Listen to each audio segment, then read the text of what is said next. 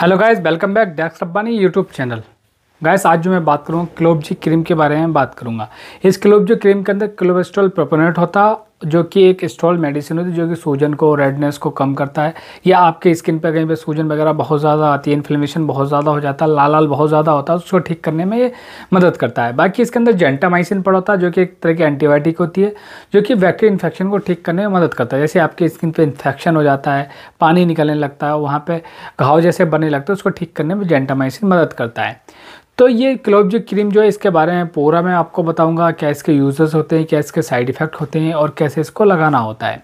और बहुत सारे लोग इस एज ए फेयरनेस क्रीम भी इस्तेमाल करते हैं गोरा होने के लिए भी इस्तेमाल करते हैं। तो मैं उस, ये भी बताऊँगा क्या ये गोरा होने के लिए इस्तेमाल में कर सकते हैं इस क्रीम को या नहीं कर सकते हैं। अगर करेंगे तो क्या क्या नुकसान आएँगे। तो वीडियो को लास्ट तक देखना है आपको, और लास्ट तक देखें तभी आपको पूरी बात अच्छे से समझ में आएगी। चलेगा बिना देरी के शुरू करते हैं वीडियो। गैस आज जो हम बात कर रहे हैं क्लोबजी क्रीम के बारे में बात कर रहे हैं। इसके अंदर क्लोबेस्ट्रोल प्रोपेनेट होता है, जो कि एक स्टोइड होता है, और इसके अंदर जेंटामाइसिन पड़ा होता है, जो कि एंटीबायोटिक होता है। बाकी अगर इसके बेनिफिट्स की बात करें, ये क्रीम जो होता है, दांत, खाद, खुजली वगैरह होती है एक्जिमा होता है सोराइसिस होता है एलर्जी वगैरह होती है तो उसको ठीक करने में मदद करता है। बाकी अगर आपके प्राइवेट पार्ट में जो आपके प्राइवेट पार्ट हो जांगों के बीच में या आपके बगल में कहीं पर बहुत ज़्यादा ईचिंग वगैरह रहती है एलर्जी वगैरह हो जाती है, खुजली हो जाती है तो उसको ठीक करने भी ये क्रीम जो मदद करती है। अगर किसी को जख्म वगैरह हो जाते हैं तो जख्म वगैरह को भी ठीक करने में, यानी वुंड को भी ठीक करने में क्रीम मदद करती है। कई बार क्या होता है पाइल्स के जैसे ऑपरेशन होते हैं तो पाइल्स को ऑपरेशन के बाद वहाँ पर जख्म हो जाता है तो आपके एनल एरिया पे, यानी एनएस पे जहाँ पे आपका ऑपरेशन किया पाइल्स का, वहाँ पे क्लोबजी क्रीम को लगाने की सलाह दी जाती है और वहाँ पे जो वैक्ट इन्फेक्शन है, या आपका घाव जो होता है उसको भरने में मदद करती है, बाकी दर्द वगैरह को कम करती है, वहाँ पर सूजन वगैरह को भी कम करती है। बाकी जैसे मैंने आपको बताया था, इस क्लोबजी क्रीम को बहुत सारे लोग जो एज ए फेयरनेस भी इस्तेमाल करते हैं, यानी गोरा होने के लिए भी इस्तेमाल करते हैं।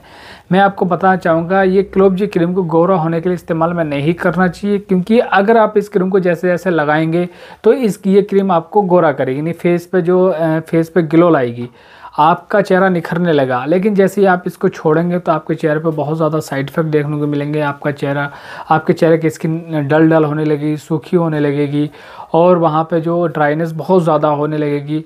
और फिर बाद में काले काले धब्बे भी आने लगेंगे। अगर आप गोरा होने के लिए इसको लॉन्ग टाइम तक इस्तेमाल करते हैं तो इसके फिर साइड इफ़ेक्ट जाने में बहुत ही दिक्कत होती है और इसके साइड इफ़ेक्ट नहीं जाते हैं। आपकी मजबूरी बन जाती है फिर क्लोबजी क्रीम को इस्तेमाल करना। तो इसलिए इसको एज ए फेयरनेस यानी गोरा होने के लिए इसको इस्तेमाल ना करें, क्योंकि अगर आप इसको लगातार लॉन्ग टाइम तक इस्तेमाल करेंगे तो आपके चेहरे की स्किन ख़राब होने लगेगी, वहाँ पर लाल लाल होने लगेगा, वहाँ पर रेडनेस इचिंग बाद में वहाँ पर इन्फेक्शन वगैरह काली पड़ना इस तरह के इन्फेक्शन देखने को मिलते हैं आपकी स्किन पर।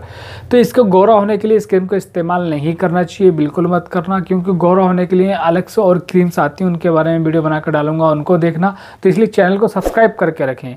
क्योंकि चैनल को सब्सक्राइब करके रखेंगे, तभी आपको सारी वीडियो आपको सबसे पहले मिलेंगी और आपको सारी नॉलेज मिलती रहेगी।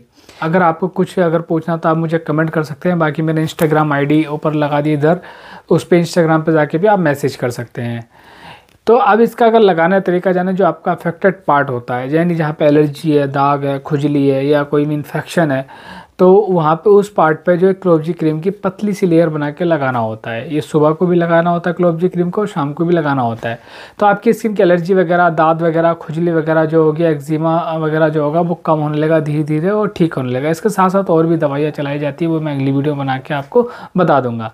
ठीक है आज मैं बताया आपको क्लोबजी क्रीम के बारे में। हो सब गैस आपको पूरा समझ में आकर समझ में आता प्लीज़ वीडियो को शेयर करो चैनल को सब्सक्राइब करें। ऐसे वीडियो के साथ मिलेंगे हम अगली वीडियो में।